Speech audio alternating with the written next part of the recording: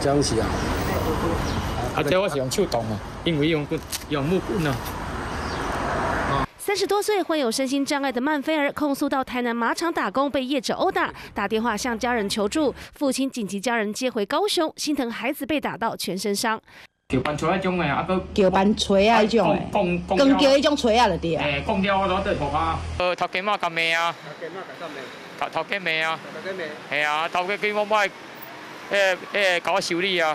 曼菲尔的手、耳朵以及四肢都有伤。家人说，六年前透过关系，他到台南这间私人马场打工，并住在马场内。但去年底，四只马匹死掉，家人不满，业者把账算在孩子头上，要求赔偿一百二十万，并对他拳脚相向。而接回家后，更发现说好每个月要支付一万多块的薪资，六年来通通没入账。我一块一万块啦，啊啊不，啊不啊，迄个甲女婆拢无啊，拢无半针啊。